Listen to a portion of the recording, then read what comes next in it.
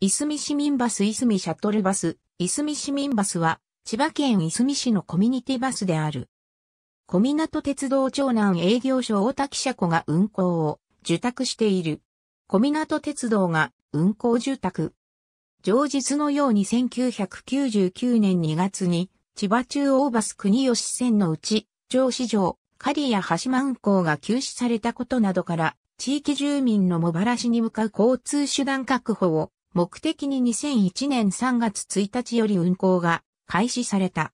2009年時点での平均の利用客数は約3万人で、主に通勤、通学での利用が多い。2014年3月現在、運行本数は5往復だが、茂原駅からいすみ市方面に向かう午前発の便は1本しかないことに加え、いすみ市から茂原駅方面へ向かう第1便の乗客数は多く、途中、南総広域農道経由のため、特に立ち席での安全輸送にも問題があることから、利便性などの課題が残るのが現状である。小湊鉄道が運行住宅。市内路線全線は、いすみ市民バスとして2007年12月1日に実証運行を開始した。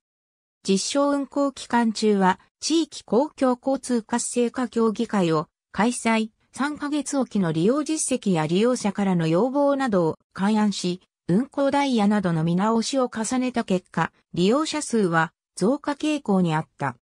当初はコミュニティバス同士の接続を図る運行ダイヤとなっていたが、バス同士の乗り継ぎ客は少ない上、JR 外房線との接続がなされていなかった。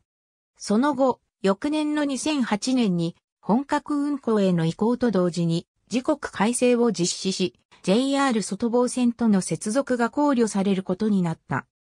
1年間の実証の結果を踏まえ、市内循環線と大原巡回各路線は本格運行に移行したが、いすみ巡回いすみ線、三崎巡回大戸和線、古沢線は運行ダイヤの見直しを行っても、利用者が少ないことなどから、実証運行期間終了をもって運行を終了している。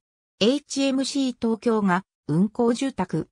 土曜、休日は運休。HMC 東京が運行住宅。土曜、休日は運休。HMC 東京が運行住宅。月曜引く水曜及び金曜のみ運転。HMC 東京が運行住宅。月曜引く水曜及び金曜のみ運転。HMC 東京が運行住宅。月曜引く水曜及び金曜のみ運転。HMC 東京が運行住宅。月曜引く水曜及び金曜のみ運転。ありがとうございます。